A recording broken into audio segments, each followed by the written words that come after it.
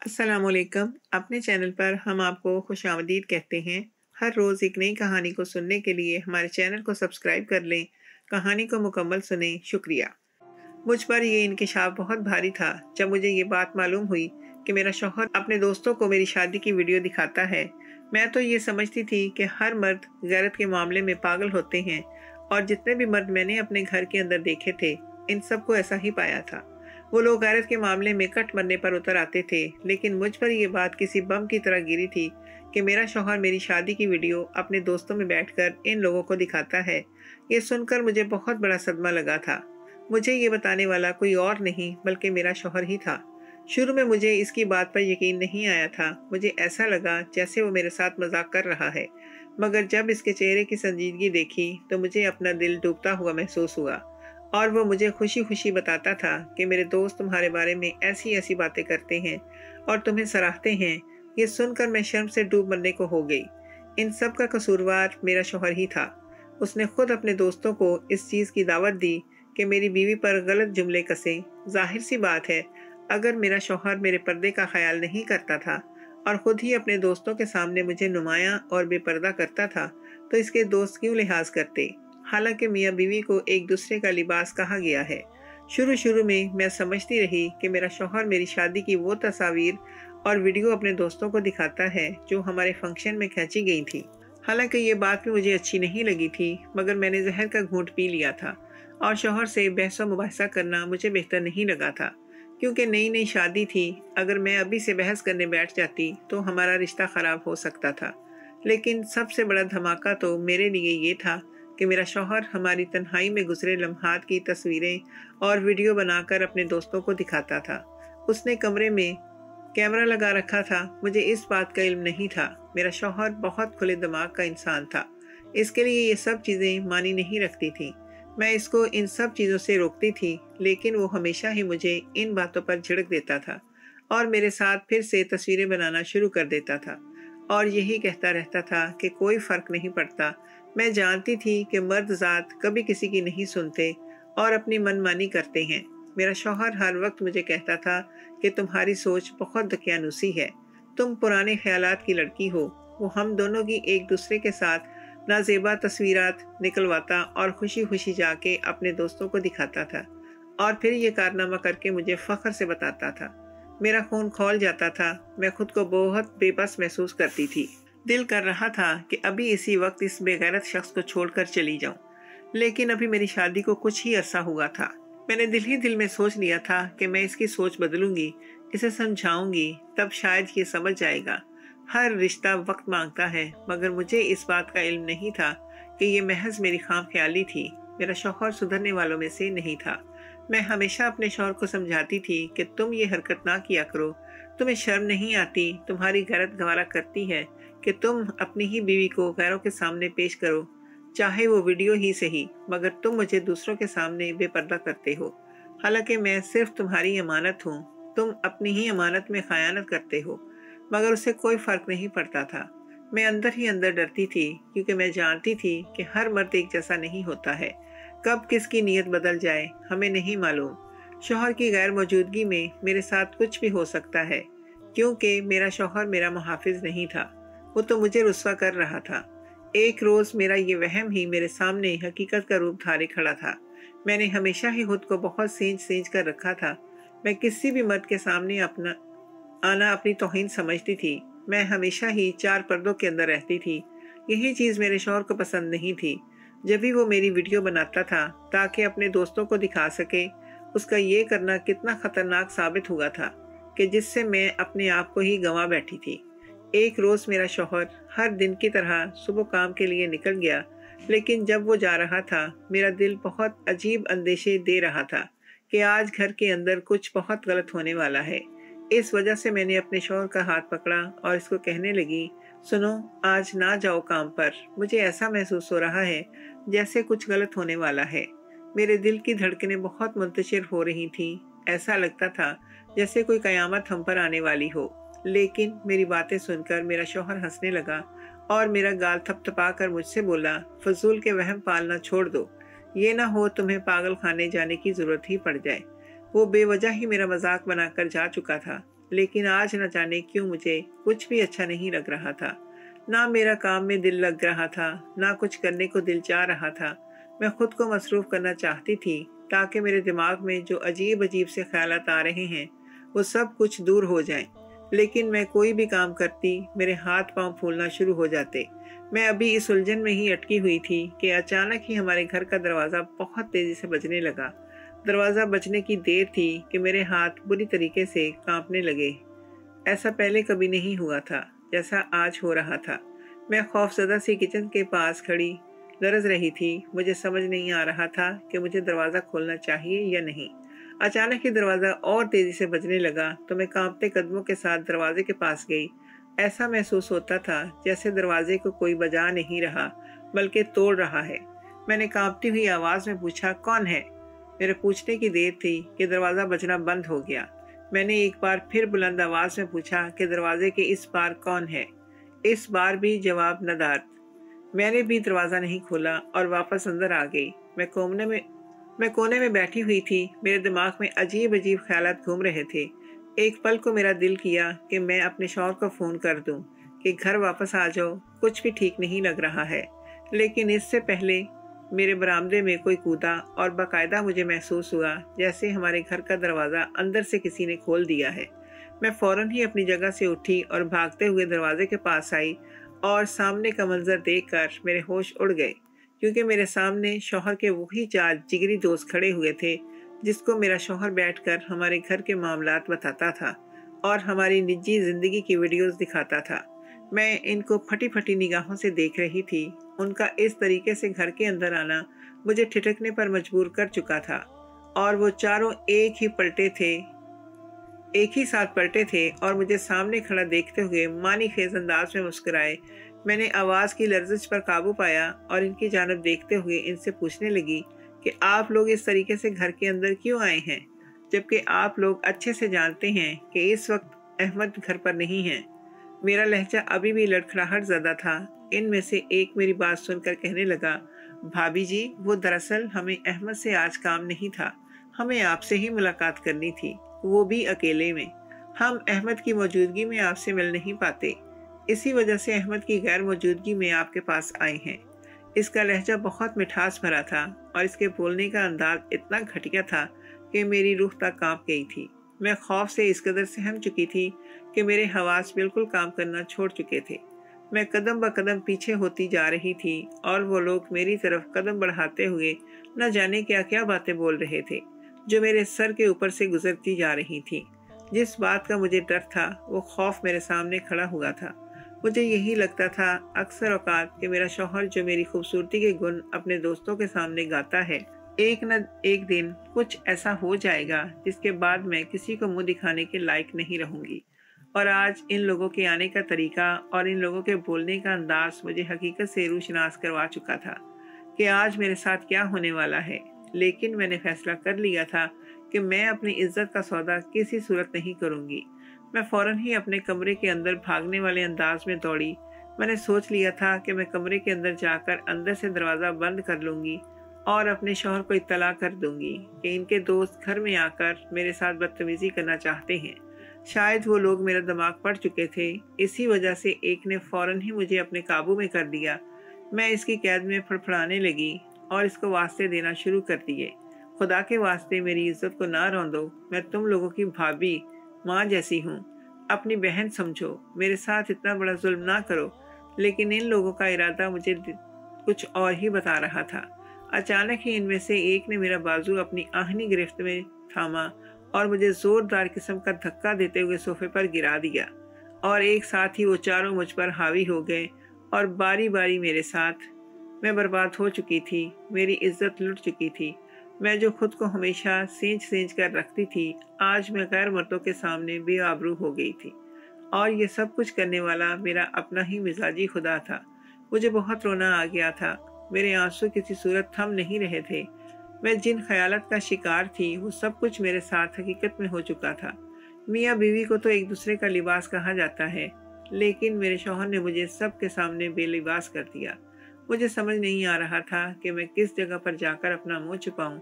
میری عزت میرے لیے سب کچھ تھی اور آج میں وہ سب کچھ اپنے ہی شوہر کے ساتھ، شوہر کے دوستوں کے ہاتھوں لٹوا چکی تھی۔ میرا بس نہیں چل رہا تھا کہ میں خودکشی کر لوں، لیکن میں یہ سب بہت اچھے سے جانتی تھی کہ جو شخص خودکشی کرتا ہے، آخرت میں وہ ہر روز ایسی ہی موت مرتا ہے۔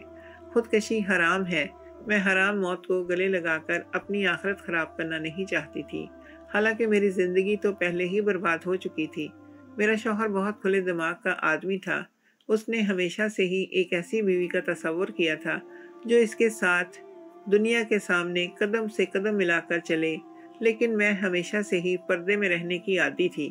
وہ اپنے دوستوں سے میرا تعارف کرانا چاہتا تھا کہ میں اس کی بیوی ہوں، لیکن میں ہمیشہ ہی اپنے شوہر کو صاف الفاظ میں انکار کر دیتی تھی۔ کہ میں ایسا کوئی قدم نہیں اٹھاؤں گی جس چیز کے لیے میرے اللہ نے مجھے منع کیا ہے۔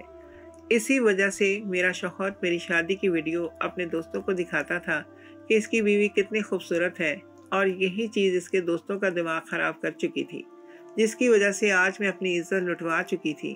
میں نے اپنے شوہر کو بہت سمجھایا تھا کہ مرد ذات کا کوئی بھروسہ نہیں ہوتا۔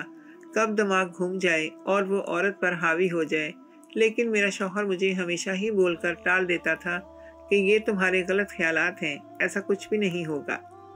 لیکن ایک عورت مردوں کی نیت سے بہت اچھے سے واقف ہوتی ہے۔ اور میں سمجھ چکی تھی کہ دال میں کچھ کالا ہے۔ تبھی تو اس کے دوست میری ویڈیو دیکھنے کی پیشکش میرے شوہر سے کرتے ہیں۔ اور میرا شوہر عقل سے اتنا پیدل کہ میری تصویریں اور ویڈیو اپنے دوستوں کو بیٹھ کر آرام سے دکھاتا تھا، جس کی وجہ سے ان کے دماغوں میں خناس بھرا ہوا تھا۔ اور وہ میرے ساتھ غلط کام کرنے سے بھی نہیں ڈرے اور میرے شوہر کی غیر موجودگی میں میرے گھر میں داخل ہو گئے۔ ان لوگوں نے مجھے صوفے پر دھکیل دیا تھا۔ میں بہت زوروں سے چیخ رہی تھی کہ میرے ساتھ یہ ظلم نہ کرو۔ میں ایک باعزت عورت ہوں۔ میں اپنی نگاہوں میں گر جاؤں گی۔ لیکن ان لوگوں پر شیطان حاوی ہو چکا تھا۔ اور وہ چاروں باری بار باری میرے پاس آ کر اپنی بھوک مٹا رہے تھے۔ پھر ایک اور مرد میرے پاس آتا تھا اور اپنی حوث مٹاتا اور پھر ایک اور آتا تھا۔ ایسے ہی یہ لوگ کافی دیر تک باری باری میرے پاس آتے رہے اور مجھے بے آبرو کرتے رہے۔ جب ان لوگوں کو اندازہ ہو گیا کہ اب مجھ میں مزید ان لوگوں کو برداشت کرنے کی سکت نہیں ہے، تو وہ لوگ میرے گھر سے بھاگ گئے تھے۔ جس حالت میں میں صوفے پر پڑی ہوئی تھی، آ کر کوئی شخص مجھے اس حالت میں دیکھ لیتا تو غش کھانے کے در پر آ جاتا۔ تھوڑی دیر بعد ہی دروازہ ایک بار پھر کھلا اور اس بار اندر آنے والی شخصیت کوئی اور نہیں، بلکہ میرا شوہر تھا۔ جب مجھے اس حالت میں سامنے پڑے ہوئے دیکھا تو اس کے بھی رونگٹے کھڑے ہو گئے تھے۔ وہ بھاگتا ہوا میرے پاس آیا اور مجھے جھنجھوڑتے ہوئے پوچھنے لگا، آخر اس کی غیر موجودگی میں یہ سب کچھ کیا ہوگا ہے؟ لیکن میرے پاس بتانے کے لیے کچھ نہیں تھا۔ میں نڈھال جسم کے ساتھ صوفے پر پڑی ہوئی تھی اور وہ مجھے بار بار جھنجھوڑ رہا تھا اور مجھ سے سوال پر سوال کر رہا تھا کہ آخر ایسا کیا ہوا ہے جس کی وجہ سے میری حالت ایسی ہو گئی ہے۔ لیکن میرے پاس بتانے کے لیے کچھ نہیں تھا۔ میں اسے خالی آنکھوں سے اس کا چہرہ دیکھتی جا رہی تھی اور وہ مسلسل مجھے جھنجھوڑے جا رہا تھا۔ اچانک ہی نہ جانے میرے جسم میں بے اختیار ایک ایسا اشتعال پیدا ہوا کہ میں نے گھماتا ہوا زناٹے دار تھپڑ اپنے شوہر کے سیدھے گال پر رسید کیا، جس کی تاب نہ لاتے ہوئے وہ زمین دوز ہو گیا اور میں یک دم ہی پھنکارتی ہوئی کہنے لگی کہ جو کچھ میرے ساتھ ہوا ہے، یہ سب کرنے والے تم ہو، ان سب چیزوں کے قصوروار تم ہو۔ میں تمہاری وجہ سے بے آبرو ہو گئی۔ مجھے میری ہی نگاہوں کے سامنے گرا دیا گیا۔ دفع ہو جاؤ یہاں سے اب۔ یہ نہ ہو کہ میں تمہارا قتل ہی کر دوں۔ میں جو ہمیشہ سے ہی اس کے سامنے عزت کے ساتھ پیش آتی تھی، اس کے سامنے آنکھ اٹھا کر کبھی بات نہیں کرتی تھی۔ آج میرے لہجے میں نفرت ہی نفرت تھی۔ کیونکہ اگر میرا شوہر میری ویڈیو اپنے دوستوں کو نہ دکھاتا، تو کبھی بھی میرے ساتھ ایسا نہ ہوتا۔ میرا شوہر مجھے بے یقین نگاہوں سے دیکھتے ہوئے کہنے لگا، آخر ایسا یہاں پر کیا ہوا ہے کہ تم میرے ساتھ ایسا رویہ اختیار کر رہی ہو؟ میرا قصور تو مجھے بتاؤ، اگر تمہارا ریپ ہو چکا ہے تو اس میں میری کیا غلطی ہے؟ میں تو گھر پر موجود نہیں تھا۔ تم مجھے قصوروار کیوں ٹھہرا رہی ہو؟ جبکہ میرا دل چاہ رہا تھا کہ میں اس شخص کو اتنا ماروں کہ اس کو اگلی سانس بھی نصیب نہ ہو۔ میں نے بھرائی ہوئی آواز میں اس کی جانب دیکھا۔ اور کہا، یہ سب کیا دھرا آپ کا ہے۔ میں نے آپ کو ہزار بار منع کیا تھا کہ میری ویڈیو اور میری تصویریں اپنے آوارہ دوستوں کو نہ دکھائیں، لیکن آپ نے میری ایک بات نہیں سنی۔ اور بار بار میری تصویریں اور ویڈیو اپنے ان آوارہ دوستوں کو دکھاتے رہے، جس کی وجہ سے آپ کی غیر موجودگی میں وہ لوگ ہمارے گھر کے اندر کود کر داخل ہو گئے۔ اور ان لوگوں نے میری عزت کو تار تار کر دیا۔ یہ سب کچھ آپ کا کیا دھرا ہے۔ میں نے زندگی میں کبھی کسی کا دل نہیں دکھایا، کسی کے ساتھ برا نہیں کیا، کسی کو بے آبرو نہیں کیا۔ تو آج میرے ساتھ یہ سب کچھ کیوں ہوا؟ میں یہ بول کر زارو کتار رونے لگی۔ میرے شوہر کی آنکھوں میں خون اتر چکا تھا۔ میں اس کی جانب دیکھنا بھی گوارا نہیں کر رہی تھی۔ وہ ایک جھٹکے سے اٹھا اور گھر سے باہر چلا گیا۔ میں نہیں جانتی تھی کہ وہ اس وقت ادھر گیا ہوگا۔ میں بس اپنے ہی گناہوں کی تلافی اور اللہ سے کر رہی تھی۔ میں فوراً اٹھی اور باتھ روم میں بند ہو گئی اور خود کو رگڑ رگڑ کر دھونے لگی۔ میرے اس طریقے سے کرنے سے، میرا جسم جگہ جگہ سے چھل رہا تھا، لیکن مجھے کوئی تکلیف محسوس نہیں ہو رہی تھی۔ مجھے اپنے جسم پر ابھی ان لوگوں کا لفظ محسوس ہو رہا تھا، جن کی وجہ سے مجھے اپنے ہی گھن، اپنے ہی وجود سے گھن آ رہی تھی۔ میں یہی عمل لگاتار ایک گھنٹہ کرتی رہی، جس کی وجہ سے میرا جسم لال ہو چکا تھا۔ میں باہر آ گئی اور ایک کونے میں بیٹھ کر زاروں کتار رونے لگی کہ اچانک ہی ہمارے بیڈ روم کا دروازہ کھلا اور میرا شوہر ڈھیلے سے انداز میں کمرے میں داخل ہوا اس کے ہاتھوں پر خون لگا ہوا تھا۔ اس کے بال بکھرے ہوئے تھے۔ اس کا حلیہ بھی اجڑا ہوا تھا۔ میں اس کو دیکھ کر ڈر گئی۔ اس کے حالات کچھ اور ہی بتا رہے تھے۔ میں اپنی جگہ پر کھڑی ہوئی اور سہمی ہوئی آواز میں میں اس سے پوچھ رہی تھی کہ آپ کہاں سے آ رہے ہیں اور یہ کیسی حالت ہو رہی ہے۔ جو مجھے سمجھ آ رہا تھا، اگر وہ میرا شور کر چکا ہے، تو ہمارے حالات اب مزید بد سے بدتر ہونے والے تھے۔ میرے شوہر نے میری جانب دیکھا اور کہنے لگا، میں ان چاروں کا قتل کر چکا ہوں اور مجھے ایسا محسوس ہوا، میرے قدموں تلے سے زمین ہی نکل گئی ہو۔ میں پھٹی پھٹی نگاہوں سے اپنے شوہر کو دیکھ رہی تھی کہ وہ کیا بول رہے ہیں۔ وہ مزید کہنے لگے، میں مانتا ہوں میں نے تمہاری ویڈیو اور تصویر ان لوگوں کو دکھائی تھی لیکن خدا گواہ ہے کہ میرا کوئی ایسا ارادہ نہیں تھا۔ میں نے خواب میں بھی نہیں سوچا تھا کہ وہ لوگ میری غیر موجودگی میں میرے گھر میں آ کر تمہاری عزت کو تار تار کر دیں گے۔ مجھے تم سے بہت محبت ہے۔ میں یہ بات تمہیں لفظوں میں نہیں بتا سکتا۔ تمہاری یہ حالت دیکھ کر میں برداشت نہیں کر سکا اور میں نے جا کر ان چاروں کا قتل کر دیا۔ تمہارے مجرم اب اس دنیا سے جا چکے ہیں۔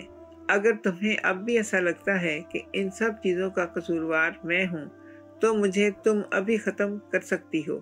اچانک ہی انہوں نے اپنی پیٹھ میں چھپی ہوئی بندوق میں سامنے کی اور کھلے دل سے مجھے آفر کرنے لگے کہ تم مجھے مار سکتی ہو اور میں یہ بات سن کر کاٹ سی گئی تھی۔ اور میں یہ بات سن کر کانپ سی گئی تھی۔ مجھے ایسا محسوس ہوتا تھا جیسے میرے جسم سے جان ہی نکل رہی ہو۔ میرے جسم کا رواں رواں کانپ رہا تھا۔ میں جانتی تھی جو کچھ ہوا ہے۔ بہت غلط ہوا ہے۔ تھوڑی دیر بعد ہی پولیس آئے گی اور میرے شوہر کو پکڑ کر لے جائے گی۔ میں ان سب چیزوں سے واقف تھی۔ وہ جذباتی ہو گئے تھے اور جذبات میں بہ کر وہ اپنا بہت بڑا نقصان کر چکے تھے۔ تھوڑی دیر بعد ہی ہمارے گھر کے باہر پولیس کے سائرن کی آوازیں آنا شروع ہو گئیں۔ میں خوف سے لرز اٹھی، لیکن مجھے اب اپنا دماغ سے آنا تھا۔ نہیں تو میرا شوہر بے موت مارا جاتا۔ میرا شوہر اب اس جگہ پر اس ساک، اس طرح ساکت بیٹھا ہوا تھا۔ آسان بات نہیں تھی۔ کسی جاندار شخص کا قتل کر دینا اور وہ بھی ایک نہیں بلکہ چار چار۔ میں اپنی جگہ سے اٹھی اور اپنے شوہر کو جھنجھوڑتے ہوئے کہنے لگی کہ آپ مجھے فوراً پچھلے دروازے سے چلے جائیں۔ نہیں تو یہ پولیس والے آپ کو اٹھا کر لے جائیں گے اور آپ کے ساتھ بہت برا سلوک ہوگا۔ میں نہیں چاہتی تھی کہ آپ کے ساتھ کچھ بھی غلط ہو، لیکن میرا شوہر کسی اور ہی دنیا میں پہنچا ہوا تھا۔ وہ میری کسی بات کو سن نہیں رہا تھا اور یہی چیز مجھے خوف میں مبتلا کر رہی تھی۔ میں بار بار ان کو جھنجھوڑ رہی تھی کہ آپ کسی بھی طور پر پیچھے والے دروازے سے چلے جائیں، لیکن وہ کوئی رسپانس نہیں دے رہے تھے کہ اچانک ہی ہمارا دروازہ زور زور سے پھر پیٹنا شروع ہو گیا۔ یقیناً وہ پولیس اہلکار ہی تھے جو ہمارے گھر کے اندر آنا چاہتے تھے اور دروازہ بجنے کی وجہ سے میرا شوہر فوراً ہی ہوش کی دنیا میں لوٹا اور اب اس کی آنکھوں میں واضح خوف محسوس ہو رہا تھا۔ میں نے اس کو دوبارہ جھنجھوڑا اور اس سے کہنے لگی کہ خدا کے لیے آپ پیچھے کے دروازے سے چلے جائیں۔ باقی میں سب کچھ سنبھال لوں گی، لیکن میرا شوہر مجھے چھوڑ کر جانے کا ارادہ نہیں رکھتا تھا۔ لیکن میرے بار بار بولنے کی وجہ سے وہ اٹھا اور پیچھے کے دروازے سے چلا گیا۔ لیکن مجھے تاکید کرنا نہیں بھولا تھا کہ اپنا خیال رکھنا میں جلد لوٹ آؤں گا۔ میں نے خود کو سنبھالا اور دروازہ کھول دیا۔ ہمارے گھر کے اندر دھڑا دھڑ پولیس اہلکار داخل ہونا شروع ہو گئے تھے اور میں ایک کونے میں کھڑی رہ گئی۔ پورا گھر ان لوگوں نے چھان مارا تھا، لیکن ان کو نہ میرا شوہر ملنا تھا اور نہ ہی ملا۔ ان میں سے ایک لیڈی کانسٹیبل میرے قریب آئی اور مجھ سے سوال کرنے لگی کہ میرا شوہر کہاں پر ہے۔ جبکہ میں نے لا علمی کا اظہار کیا، لیکن وہ لوگ میری بات پر بالکل یقین نہیں کر رہے تھے۔ وہ لوگ اب مجھے حراست میں لینا چاہ رہے تھے، لیکن میں بھی اتنا قانون جانتی تھی کہ کوئی بھی بنا ثبوت کے مجھے گرفتار نہیں کر سکتا ہے۔ وہ لوگ اس کے باوجود بھی میرے ساتھ ذرا میرے ساتھ ہاتھا پائی کرنے لگے تو میں نے فوراً ہی شور مچانا شروع کر دیا، جس کی وجہ سے پولیس والوں کو مجبوراً وہاں سے لوٹنا پڑا۔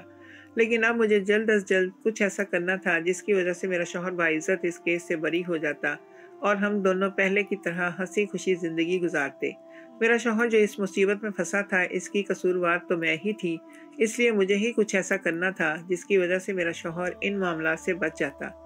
میں نے ایک بہت اچھا وکیل ہائر کیا اور اس کو ساری کنڈیشن بتا دی کہ کس طریقے سے ان چاروں مردوں نے میرا ریپ کیا تھا اور جب میں نے اپنے شوہر کو بتایا تو وہ جذباتی ہو گئے اور انہوں نے جا کر ان چاروں مردوں کا قتل کر دیا۔